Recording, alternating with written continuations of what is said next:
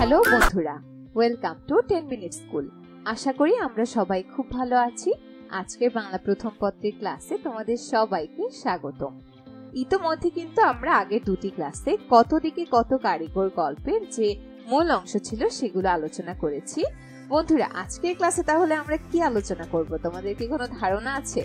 আমরা জানি আজকের ক্লাসে আমাদের আলোচনার বিষয় হবে হচ্ছে আমাদের এই গল্পে যে শব্দার্থ টিকা, পাঠের উদ্দেশ্য, পাঠ পরিচিতি, লেখক পরিচিতি এবং বহু নির্বাচনী প্রশ্নগুলো আছে, সেগুলো।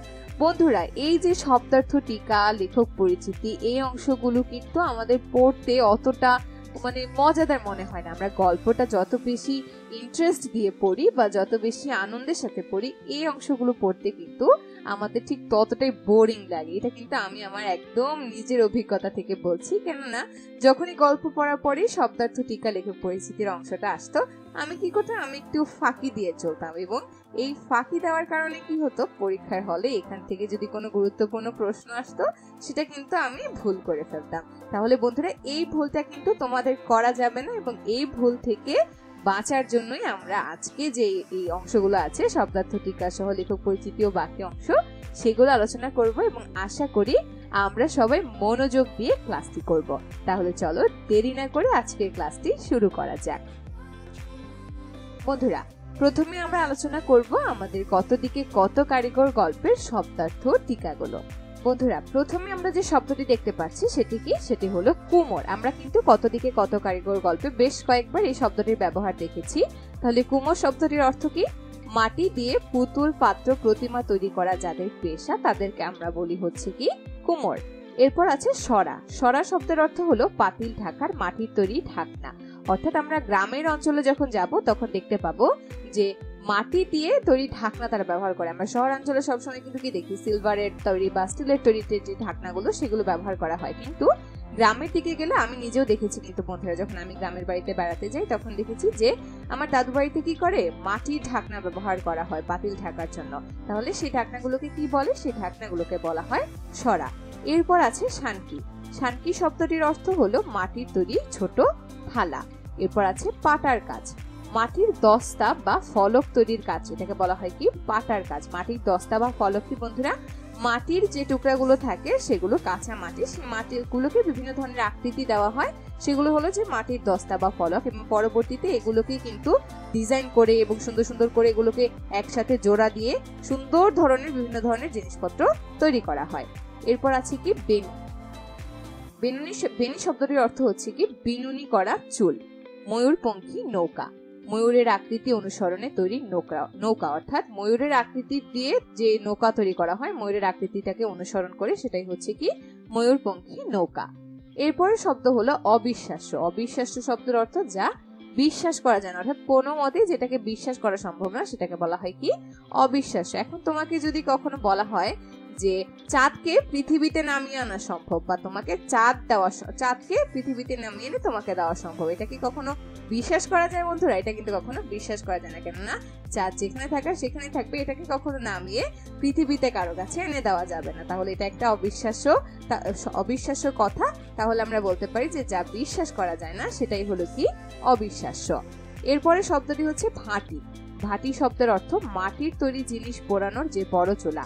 তাহলে মাটি দিয়ে বা মাটির ফলক বা দস্তায় কাজ করার পরে সেগুলোকে সুন্দর আকৃতি দেওয়ার পরে বিভিন্ন ধরনের জিনিস যেরকম পুতুল তৈরি করা হয়, সরা তৈরি করা হয় শানকি তৈরি করা হয়, এগুলো তৈরি করার পরে এগুলোকে ভাটাতে, ভাটিতে পোড়ানো হয়। অর্থাৎ মাটির তৈরি জিনিস পোড়ানোর জন্য এক ধরনের বড় চুলা আছে। সেই চুলায় কিন্তু এগুলোকে পোড়ানো হয়।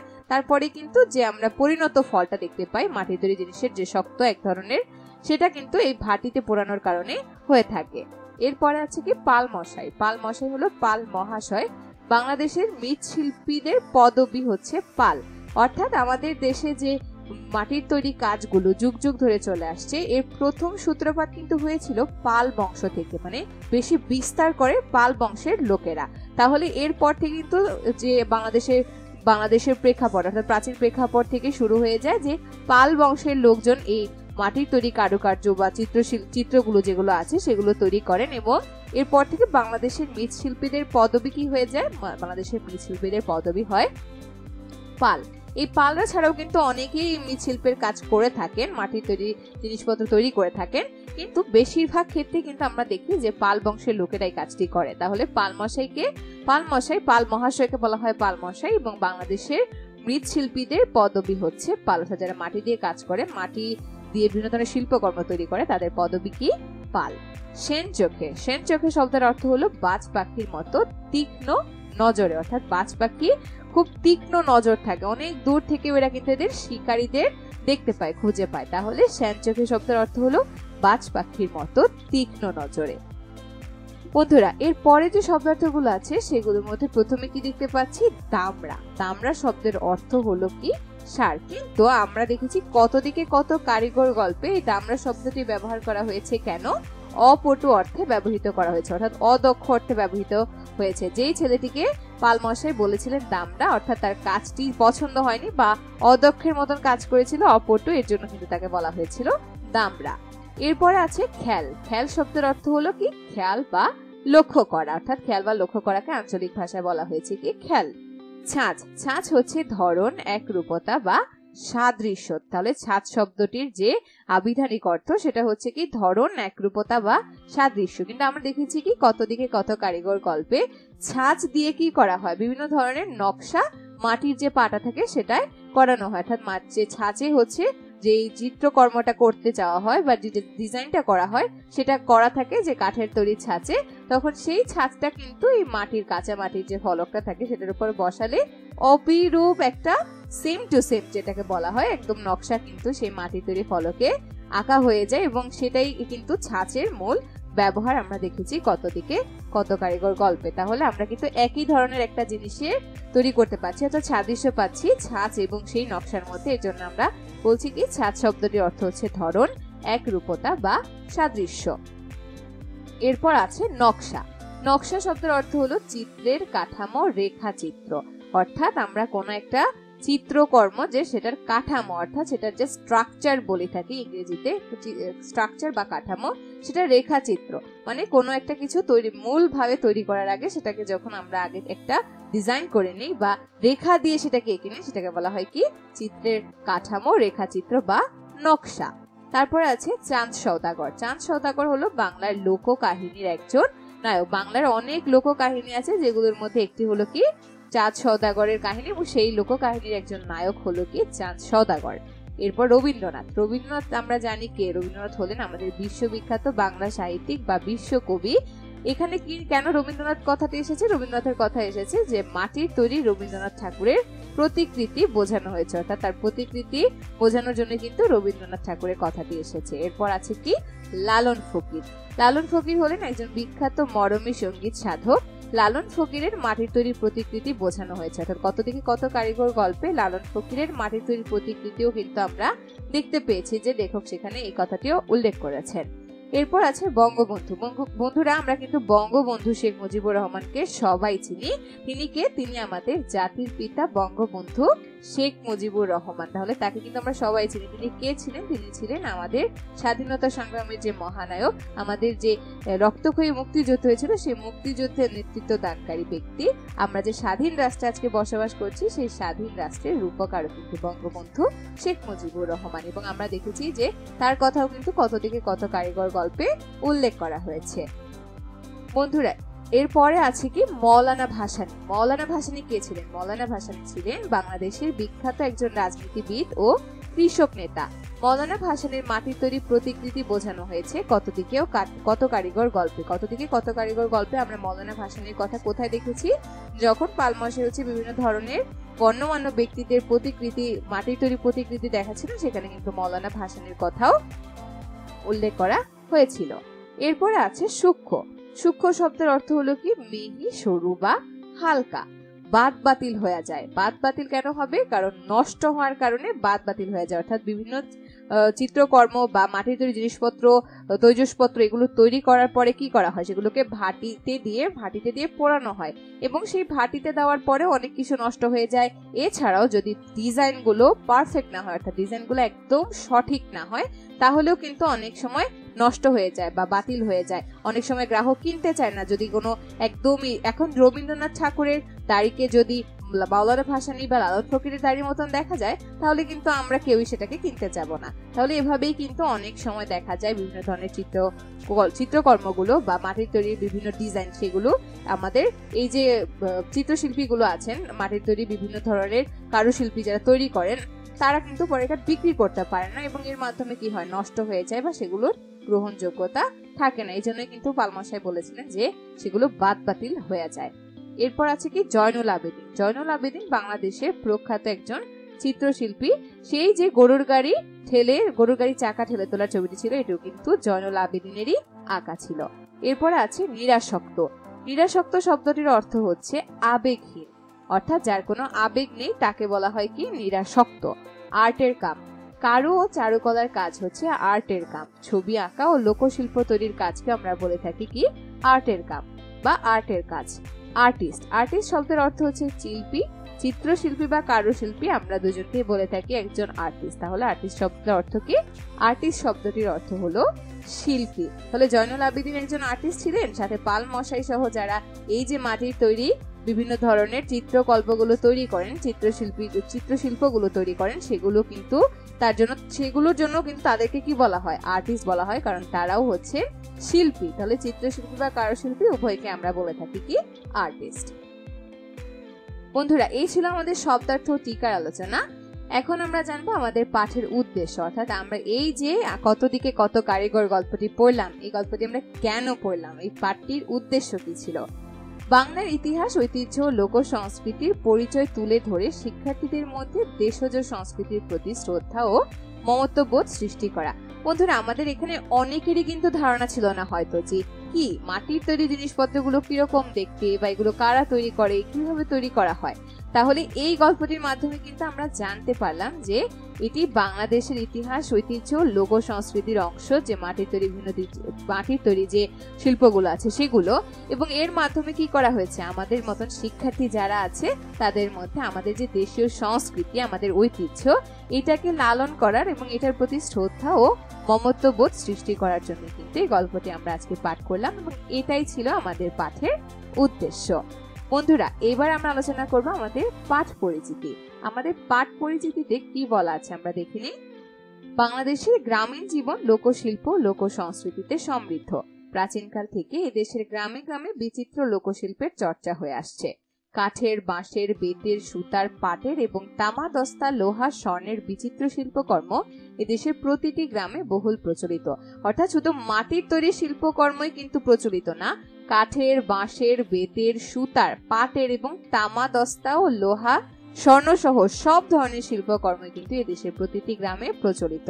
এর মধ্যে মাটির গড়া শিল্প সমধিক পরিচিত। প্রসিদ্ধ অর্থাৎ মাটির গড়া শিল্পগুলো কি সবচেয়ে বেশি পরিচিত এবং প্রসিদ্ধ? কত দিকে কত কারিগর শীর্ষক রচনায় সৈয়দ শামসুল হক এই কারিগরদের শিল্পকর্মের পরিচয় তুলে ধরেছেন? এরা কুমোর হিসেবে পরিচিত, অর্থাৎ মাটির তৈরি জিনিসপত্র যারা তৈরি করেন, এটা যাদের পেশা, তারা কি হিসেবে পরিচিত? তারা কুমোর হিসেবে পরিচিত। এরপরে আছে এক সময় মাটির তৈরি জিনিসপত্র তৈরি করতেন কুমোরগণ, কিন্তু সেদিন এখন আর নেই। এখন তারা মাটি দিয়ে নির্মাণ করেন খ্যাতিমানদের অবয়ব মূর্তি। অর্থাৎ মাটির তৈরি তৈজসপত্র বলতে হাড়ি, পাতিল বা মাটির তৈরি যে আমরা দেখেছি বিভিন্ন ধরনের ঢাকনা, এই সব কিছু কিন্তু কি ছিল? তৈজসপত্রের অংশ এবং এগুলো তৈরি করতেন কুমোরগণ। কিন্তু এখন আর শুধু এই সব মাটির তৈরি তৈজসপত্রের মধ্যে তারা সীমাবদ্ধ নেই। এখন তারা মাটি দিয়ে নির্মাণ করেন কি? খ্যাতিমানদের অবয়ব বা মূর্তি। পাল মশাই তেমনই একজন জাত শিল্পী, অর্থাৎ তার বাবাও ছিলেন একজন আর্টিস্ট যিনি কিনা মাটি দিয়ে শিল্পকর্ম তৈরি করতেন এবং তিনিও কিন্তু একজন আর্টিস্ট অর্থাৎ তিনিও একজন কুমোর বা এইসব মাটি দিয়ে তৈরি বিভিন্ন ধরনের শিল্পকর্মের সৃষ্টি করেন তিনি। তার জন্য কি বলা হয়েছে? পাল মশাই একজন জাত শিল্পী, অর্থাৎ তিনি বংশানুক্রমে কিন্তু এই পদবিটি পেয়েছেন। তার তত্ত্বাবধানে শিল্পীগণ রবীন্দ্রনাথ ঠাকুর, কাজী নজরুল ইসলাম, বঙ্গবন্ধু শেখ মুজিবুর রহমান, লালন ফকির, মৌলানা ভাসানী সহ খ্যাতিমান ব্যক্তিদেরও প্রতিমূর্তি করেন। অর্থাৎ তার তত্ত্বাবধানে, পাল মশাইয়ের তত্ত্বাবধানে কিন্তু আরও অনেক কিশোর দেখেছি আমরা সেখানে কাজ করছিল অনেক ছেলেরা। তাহলে তাদের, তার তত্ত্বাবধানে বা তার গাইডেন্স যেটা আমরা বলে থাকি, তিনি শিখিয়ে দেন তাদেরকে বা দেখিয়ে দেন। তার, তাদের তার তত্ত্বাবধানে কিন্তু এই যে বিভিন্ন ধরনের খ্যাতিমান ব্যক্তি যারা আছেন, খ্যাতিমান ব্যক্তি আমাদের মহান মহান ব্যক্তি যারা আছেন বাংলাদেশের ইতিহাসের, তাদেরকে তাদের মূর্তিগুলো কিন্তু তৈরি করেন কারা? এই যে কুমোররা আছেন তারা। শুধু তাই নয়, ইতিহাস ঐতিহ্য হিসেবে পরিচিত বিষয় তারা শিল্পকর্মের বিষয় হিসেবে বেছে নেন। শুধু যে প্রতিমূর্তি তৈরি করেন তাই নয়, বিভিন্ন ধরনের ইতিহাস এবং ঐতিহ্যের অংশগুলোকেও কিন্তু তারা এই কাজের মাধ্যমে ফুটিয়ে তুলছেন। সৈয়দ শামসুল হক এই গ্রামীণ শিল্পীদের নিষ্ঠা, সততা ও দক্ষতার পরিচয় তুলে ধরেছেন। অর্থাৎ কত দিকে কত কারিগর গল্পে আমরা দেখেছি কি, সৈয়দ শামসুল হক এই গ্রামীণ শিল্পীদের নিষ্ঠা, সততা ও দক্ষতার পরিচয় কিন্তু তুলে ধরেছেন। তাহলে বন্ধুরা, আমাদের পাঠ পরিচিতির আলোচনা কিন্তু এই পর্যন্তই ছিল। আশা করি আমরা সবাই ভালো মতন বুঝতে পেরেছি। এবার আমরা যাব আমাদের লেখক পরিচিতিতে। অর্থাৎ আমাদের শ্রদ্ধেয় লেখক সম্পর্কে আমরা কিন্তু বেশ কিছু গুরুত্বপূর্ণ তথ্য এখন আলোচনায় জানব। বন্ধুরা, এই যে আমরা দেখতে পাচ্ছি যে ছবিটি, এটা কিন্তু আমাদের শ্রদ্ধেয় লেখক সৈয়দ শামসুল হকের ছবি। সৈয়দ শামসুল হক উনিশশো পঁয়ত্রিশ খ্রিস্টাব্দে কুড়িগ্রাম শহরে জন্মগ্রহণ করেন। তিনি ঢাকা কলেজিয়েট স্কুল থেকে ম্যাট্রিক, জগন্নাথ কলেজ থেকে ইন্টারমিডিয়েট ও ঢাকা বিশ্ববিদ্যালয়ে ভর্তি হয়ে কিছুদিন পড়াশোনা করেন।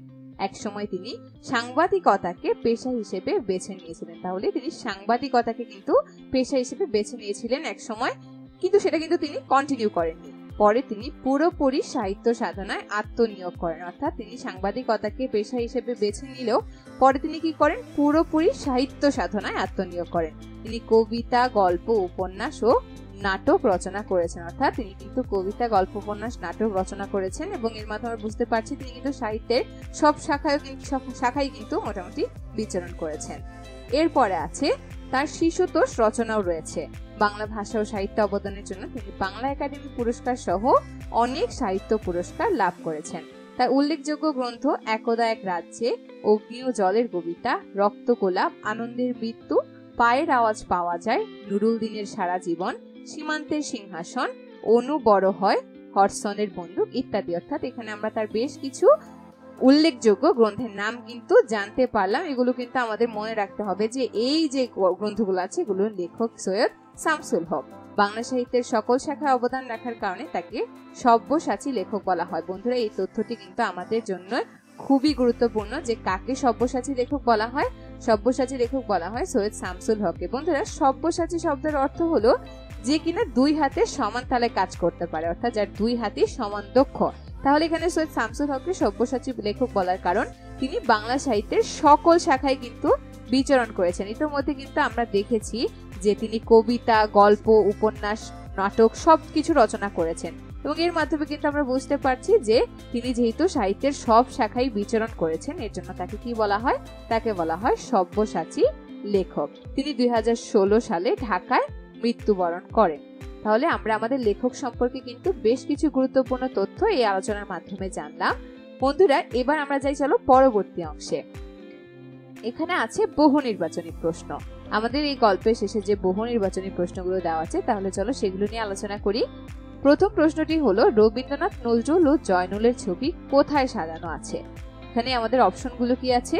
কুমোরদের প্রাঙ্গণে ঘরের দেয়ালে বৈশাখী মেলায় বাজারের দোকানে। তাহলে আমরা কত দিকে কত কারিগর গল্পে কিন্তু দেখতে পেয়েছিলাম যে রবীন্দ্রনাথ নজরুল ও জয়নুলের ছবি কোথায় টাঙানো ছিল।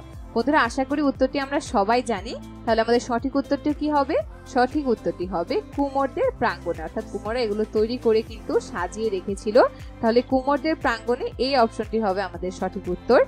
আমরা যারা সঠিক উত্তরটি দিতে পেরেছি, তোমাদের সবাইকে অনেক বেশি অভিনন্দন। বন্ধুরা, এবার আমরা যে আমাদের দ্বিতীয় প্রশ্নে। আমাদের দ্বিতীয় প্রশ্নটি হলো, আরে দামরা বলতে কি বোঝানো হয়েছে? অর্থাৎ এখানে লেখক কিন্তু একজন কিশোরকে আরে দামরা বলে উল্লেখ করেছিলেন। অর্থাৎ লেখক নয়, আমাদের যে পাল মশাই ছিলেন, তিনি উল্লেখ করেছিলেন আরে দামরা বলে। তাহলে সেই আরে দামরা বলতে কি বোঝানো হয়েছে? অলস, অদক্ষ, ফাঁকিবাজ না পশু বিশেষ? বন্ধুরা, আমরা জানি দামরা শব্দের অর্থ কিন্তু সার। কিন্তু এখানে আরে দামরা বলতে কি বোঝানো হয়েছে? আসলে অলস না ফাঁকিবাজ না অদক্ষ না পশু বিশেষ। আমরা আশা করি সবাই উত্তরটি জানি। আমাদের সঠিক উত্তরটি হবে অদক্ষ, অর্থাৎ অপটু অর্থে ব্যবহৃত হয়েছিল আরে দামরা শব্দটি। তাহলে আমরা যারা সঠিক উত্তরটি দিতে পেরেছি, তোমাদের সবাইকে অভিনন্দন। বন্ধুরা, এবার আমরা যাব আমাদের তৃতীয় প্রশ্নে। তৃতীয় প্রশ্নটি হলো, লোকশিল্পের অংশ হচ্ছে ভাস্কর্য তাঁত শিল্প মৃৎশিল্প। নিচের কোনটি সঠিক? বন্ধুরা, তোমাদের কি মনে হয় কোনটি সঠিক? লোকশিল্পের অংশ কোনগুলো? বন্ধুরা, লোকশিল্পের অংশ কিন্তু আমাদের ভাস্কর্য, তাঁত শিল্প মৃৎশিল্প তিনটি। তাহলে আমাদের লোকশিল্পের অংশ, এইটার সঠিক উত্তরটি কি হবে? সঠিক উত্তরটি হবে এই যে ঘ নম্বর যে অপশনটি আছে, এক, দুই ও তিন এটাই কিন্তু আমাদের লোকশিল্পের অংশ। বন্ধুরা, এরপরে আমরা দেখব আমাদের যে প্রশ্নটি আছে, সেটি কি? একটি উদ্দীপক দেওয়া আছে। বন্ধুরা, ভিডিওটি পজ করে আমরা উদ্দীপকটি সবাই একবার করে পড়ে নেব এবং এরপরে যে প্রশ্নটি আছে সেটি দেখব। আশা করি আমাদের যে উদ্দীপকটি, সেটি পড়া শেষ হয়েছে। এবার আমরা দেখি আমাদের প্রশ্নটি কি আছে। দোকানের উক্তির সাথে গল্পের সামঞ্জস্যপূর্ণ চরণ কোনটি? তাহলে এখানে বলা হয়েছে কি যে, রুমানা পোষ মেলায় গিয়ে বিভিন্ন ধরনের মাটির তৈরি বাঘ, সিংহ, ঘোড়া এগুলো দেখে এবং সে যখন দোকানিকে জিজ্ঞেস করে, এগুলো কারা তৈরি করেছে, উত্তরে দোকানি কি উত্তর দেয়? কত শত জন মিলে কাজ করেছে তার খোঁজ কে রাখে? এই কথাটির, এই যে উক্তিটি, সেটির সাথে আমরা কত দিকে কত কারিগর গল্পের কোন চরণটির মিল দেখতে পাচ্ছি? অপশন কি আছে? কত দিকে কত কারিগর আছে? নজর না রাখলেই কাম সারা। হাতে ঠিক করতে হয়, নাইলে মাল নষ্ট। চেনে মানে ছায়া দেখলেও চেনে। তাহলে আমাদের কি মনে হয়? কোন উত্তরটি সঠিক হবে? দোকানে কিন্তু বলেছিল যে কত শত জন মিলে কাজ করেছে, তার খোঁজ কে রাখে? এর সাথে আমরা এই যে ক নম্বর যে অপশনটি আছে কত দিকে কত কারিগর, এই উক্তিটির কিন্তু এই উক্তিটির কিন্তু আমরা সামঞ্জস্য দেখতে পাচ্ছি, অর্থাৎ এই উক্তিটির সাথে মিল আছে। কেননা, দোকানের মতে যে এই জিনিসগুলো যে তৈরি করেছে, এগুলো কে তৈরি করেছে, কত শতজন মিলে, এটার খোঁজ কিন্তু কেউ রাখে না। এবং পাল মশাইও কিন্তু বলেছিলেন, যেরকম কত দিকে কত কারিগর আছে, তাদের খোঁজও কিন্তু কেউ রাখে না, শুধু নকশাগুলোই বিক্রি হয়। তাহলে বন্ধুরা, আমরা বুঝতে পারছি যে আমাদের ক নম্বর অপশনটি হবে আমাদের সঠিক উত্তর। তোমরা যারা সঠিক উত্তরটি দিতে পেরেছ, তোমাদের সবাইকে অভিনন্দন। এবার আমরা চলে যাব আমাদের সর্বশেষ প্রশ্নে। আমাদের সর্বশেষ প্রশ্নটি কি? রুমানার মুগ্ধতার কারণ কারিগরদের বৈচিত্র্য, নিপুণতা, দেশপ্রেম, নিচের কোনটি সঠিক?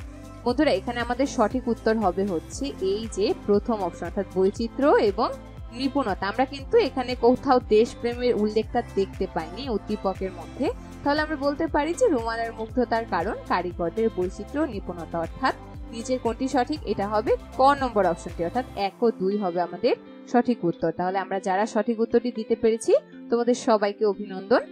বন্ধুরা, আমাদের আজকের আলোচনা কিন্তু ছিল এই পর্যন্তই। তাহলে আশা করি এই আলোচনা যা কিছু হয়েছে সবকিছু তোমরা বুঝতে পেরেছ।